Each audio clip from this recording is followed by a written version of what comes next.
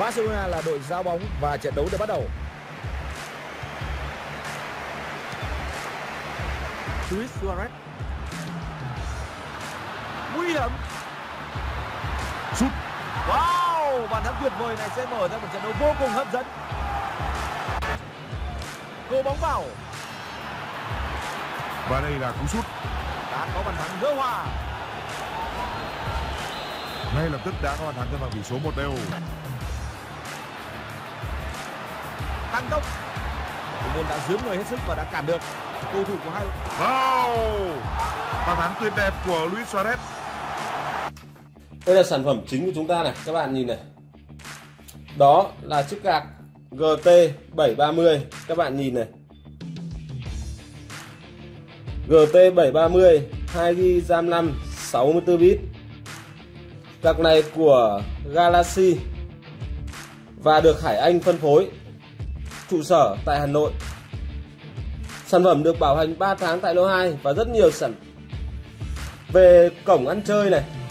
Các bạn có HDMI, các bạn có VGA, các bạn có DVI đầy đủ cho tất cả các màn hình 2GB RAM 5 64 bit phù hợp với chơi game FIFA Online 4 giá dưới 500 nghìn Vậy bây giờ chúng ta còn một vấn đề nữa đó là làm sao chúng ta ghép hình như nào cho nó thuận tiện. Thì các bạn để ý này. Các bạn nên ghép tối thiểu với những dòng men thuộc socket 1150 ví dụ H61 hoặc P61 à, bỏ qua toàn bộ socket 775 và nghèo thì cũng không cho cu tèo đi học là ghép với socket 1151 version 2 những socket như này các bạn không ghép với chiếc càng này về CPU các bạn để ý nhé các bạn có thể ghép với ví dụ mình lấy ví dụ ở socket 1155 các bạn có thể ghép tối thiểu để có những trải nghiệm như trên. Đó là với i3 2120 hoặc 2001 cứ i3 là ok. Còn RAM này các bạn để ý RAM các bạn phải ghép tối thiểu đó là 8GB 6GB cũng tạm chấp nhận được rồi. Nhưng thôi các bạn đừng mua cái, cái 6GB làm gì cả. Mua 6GB thì nó sẽ là như này một thanh 4GB và một thanh 2GB sau này khi nâng cấp lên, các bạn sẽ vứt thanh 2GB đó đi. Hoặc bán lại cho người ta. Sẽ khi mua thì các bạn biết rồi đấy. Khi các bạn mua mớ rau, nó đắt. Nhưng khi các bạn bán mớ rau thì luôn luôn nó rẻ hơn khi các bạn mua. Vì quan điểm là khi mua các bạn cần mà khi bán các bạn chán, nó đã rẻ ở điểm đó rồi. Vì vậy mình khuyên các bạn, một, đó là chạy một thanh 4 g hai là chạy hai thanh 4 g tạo thành 8 g có điều kiện nữa thì chạy hai thanh 8 g cho nó thành 16 g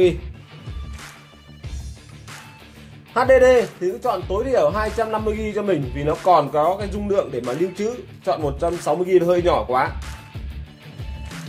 Còn về vấn đề nguồn điện, để nuôi cho những cái như trên, các bạn cần tối thiểu một nguồn 300W công suất thực là ok. Còn nếu bạn dư giả thì hãy sắm nguồn mới. Ví dụ đây là nguồn 400W vậy là chúng ta đã đi cùng nhau hết tất cả những cái linh kiện liên quan đến cái trải nghiệm vừa rồi các bạn. Đây là bộ cây lấy mẫu, các bạn có thể ghép theo đó như mình đã liệt kê các linh kiện ở trên. GTX 7 GT 730 2GB RAM 5 64 bit, được bán tại lô2.vn Sản phẩm được bảo hành 1 đổi 1 trong vòng 3 tháng. Cảm ơn các bạn đã bỏ chút thời gian theo dõi video. Các bạn nhớ like, share và subscribe kênh youtube của Lô 2 và chia sẻ video này tới cộng đồng. Rất mong các bạn ủng hộ kênh youtube mới của Lô 2 về cuộc sống văn hóa ẩm thực và sự phát triển của đất nước Việt Nam. Cảm ơn các bạn.